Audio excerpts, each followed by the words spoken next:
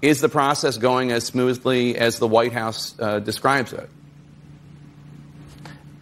No, no, Jake. I mean, look, there's one of the things we learned on the ground there is that one of the biggest burdens on the troops are, are all these haphazard requests coming in from members of Congress and members of the administration in not in no sort of organized way. So the troops again on the ground are doing this incredibly heroic effort not only out there in the uh, in front of the gate to find these Afghans, but behind the wire in the airport to simply identify which ones we need to get to sift through thousands and thousands of requests and figure out which ones we need to bring over the wire.